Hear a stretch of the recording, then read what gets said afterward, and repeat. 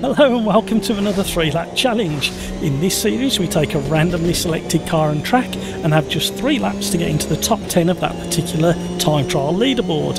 Now, the randomizer has picked an interesting combination this week. It's a Brazilian track and it's in a car that you'll probably be familiar with.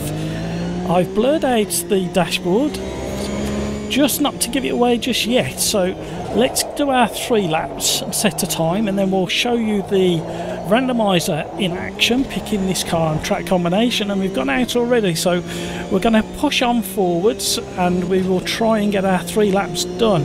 Now, I quite enjoy this car, but I don't drive it all of the time, so it takes a little bit of getting used to. And this circuit, I've driven a handful of times on the slightly longer version of this track as the sun comes in, and I believe that this version of the circuit was one of the very first in the official time trial of the week that Reiza runs within the game, and it was in the. Uh,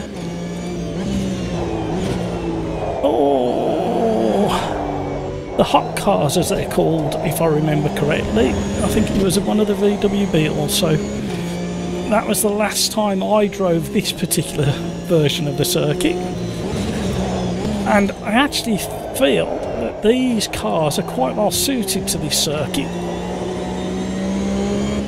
So there's the end of our lap, and I think we're ahead of the Ghost. So the world record of a 46 is pretty good by the looks of it for a three lap challenge anyway. So we'll push on for this remainder of this lap and I've gone too deep there.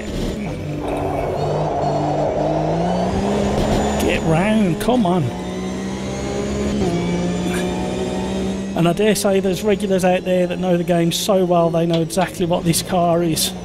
But for those that don't know which car it is just yet, stick around for the randomizer at the end of this lap, and it looks like our lap 2, as usual, is our fastest. And after the randomizer, we will push on and try and get our ultimately fast lap and hopefully get the world record.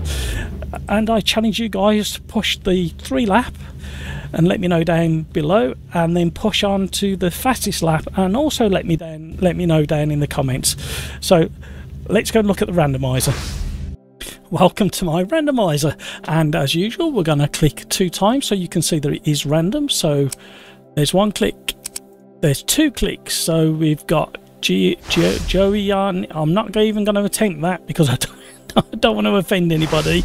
The short version of that track. Somebody let me let me know how you pronounce that. Oh, try typing it out in the comments down below how to pronounce it. And in the Porsche 911 GT3 Cup, the 3.8 version. So let's see how we get on with that, everybody. So yes, we're back at Goiânia. I think that's how you pronounce it. After all those struggles I had, where I nearly hurt myself trying to pronounce it, I've been away and I've googled it and checked to see what the pronunciation is in Portuguese and it seems to be that or as close to that as I can manage anyway. So we've loaded up the current world record holder. Oh. We're not going to do it that way. Concentrating. And we're in the Porsche GT3 3.8 Cup car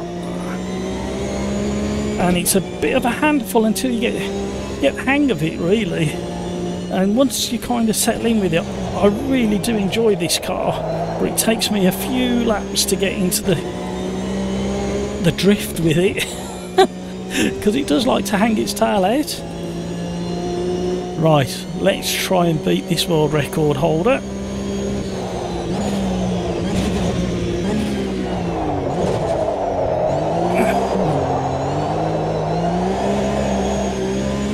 had to wait patiently on the gas there. Time to set it up under braking. Don't go wide, don't go wide, and we've gone wide. Oh, we're raggy, we're pushing too hard too soon. Like I say, it takes me a good handful of laps to get back in the uh, Porsche Cup mode because it does things like that to me. I've got to be smoother, get the weight transfer better. Oh, I'm off the throttle already because it, it stopped. The ghost stopped on the line and I, come on. Don't follow the ghost.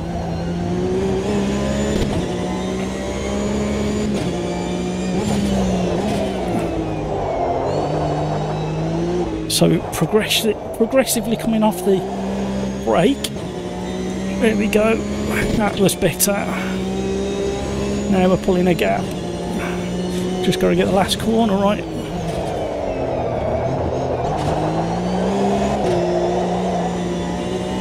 Not brilliant. More time to be had there, that's for certain.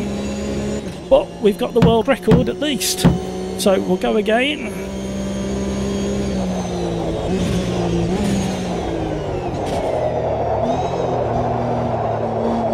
I tend to wait for the back end just to start drifting and then come off the brakes. Not the best way of dealing with this car, I don't think, but for me at least, it's worked so far. Mind the track limits there, get you. Right.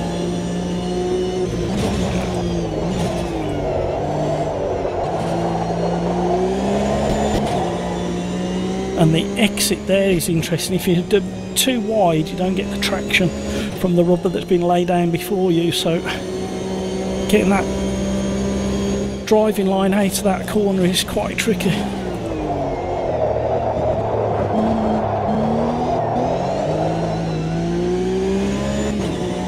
We're up on our fastest.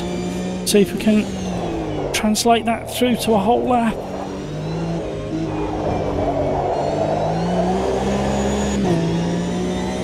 That's better line through there.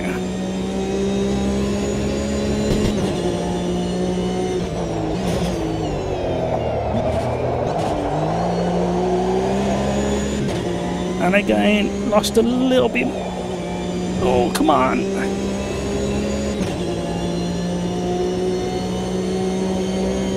Oh, I wanted to be in the 45s.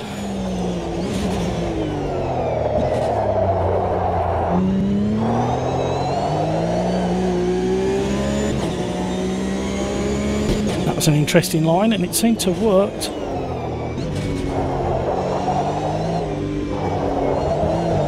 Patience. We're up on our previous fastest again. I need to nail this final corner.